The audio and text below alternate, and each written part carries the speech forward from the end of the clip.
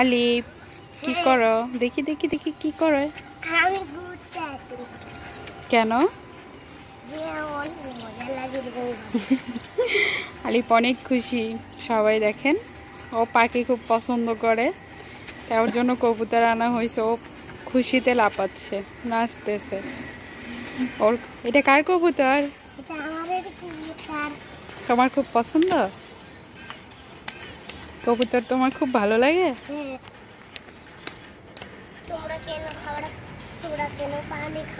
আলিপ এদিকে তাকো।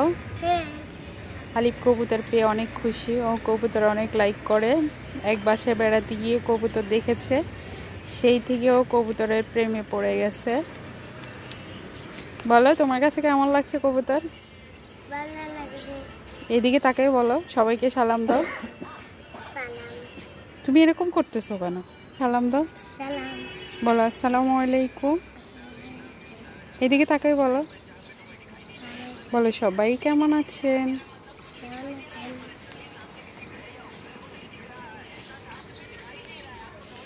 কবুতরগুলো মাসাল্লাহ দেখতে অনেক সুন্দর।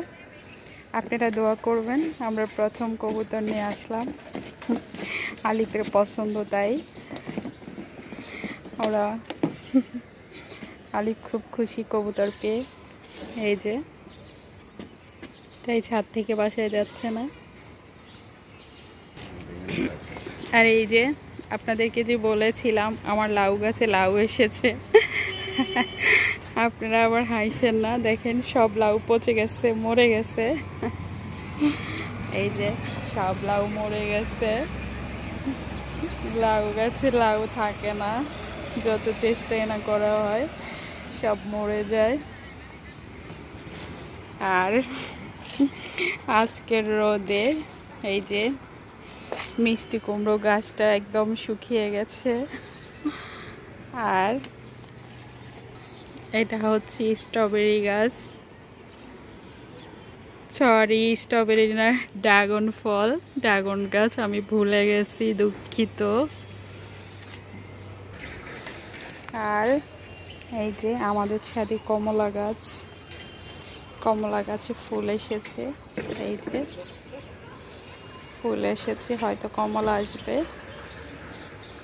আর এটা হচ্ছে এটা হচ্ছে জলপই গাছ। আজকে পাঁচ ছয় বছর হয়ে গেছে গাছটার। প্রথমবার জলপই এসেছে আর আসে না এরপর থেকে। আর এই যে মাসাল্লা টমেটো গাছ।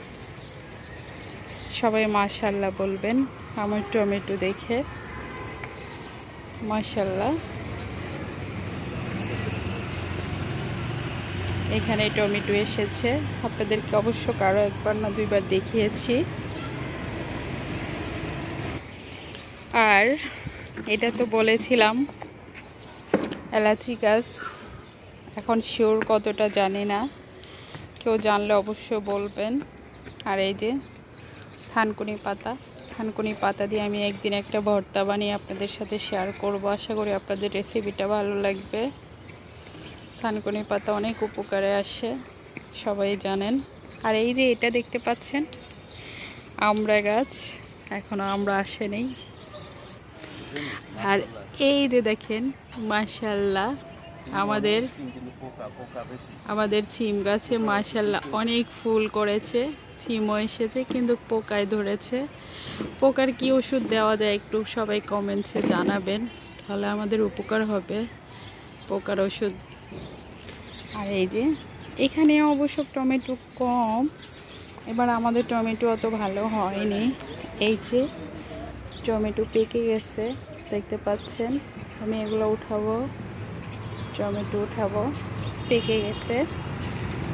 কিছু কিছু টমেটো। আর এই যে টমেটো সিম পাড়তেছে উপরে। আজকে সিম পারব কালকে সিম। এর আমার কাছে কচি সিমের চাইতে সিমের বেশি অনেক মজা লাগে। তো এই জন্য সিমটা বাতি করে এই যে সিম দেখেন। অনেক ভালো লাগতেছে দেখে। নিজের কাছে টাটকা টাটকা সিম দেখতে অনেক ভালো লাগে। খেতেও কিন্তু অনেক মজা। মার্শাল অনেক ফুল এসেছে। আর ইনশাল্লাহ অনেক সিম হবে, আশা করি। আর আমার কাছে কচি চিমের চাইতে চিমের বিচিটা অনেক বেশি মজা লাগে। তো সেজন্য আমি চিমগুলো বাতি করে নেব। এই যে, বাতি করে নেব, বিচিটা খাব। বিচিটা আমার কাছে ভালো লাগে। এই যে সিম, কচি কচি। তো আপনাদের সবার কাছে কেমন লেগেছে আমাদের গার্ডেনটা? প্লিজ কমেন্ট করে জানাবেন। আর আপনাদের যাদের ছাদ আছে, বিশেষ করে তারা ছাদের মধ্যে এইভাবে সবজি লাগিয়ে খেতে পারেন। কারণ বাজারে সব জিনিসের মধ্যে ভেজাল থাকে। তো সেজন্য আমরা যদি সবাই নিজের বাসাতে চেষ্টা করি ছোটোখাটো একটা সবজি বাগান করার। তাহলে আমাদের সবার খাওয়ার চাহিদাটা পূরণ হয়ে যাবে। উপরে সিম উঠাতে উঠছে। তো কালকে আমরা সিম অবশ্য রান্না করব। আমি সিমের বিছি দিয়ে আমাদের এরিয়াতে বলে খাইসারা আর কার এরিয়াতে কী বলে আমি জানি না। তো মাছের মাথা দিয়ে ওই ছিমের বিছিগুলো রান্না করব। অনেক টেস্ট হয়। তো এই তো। যে উপর থেকে সিম পেড়ে ফেলেছে। আলিফ খুঁজে নিতে আছে এই যে একটা বাবা। না, এটি ভালো।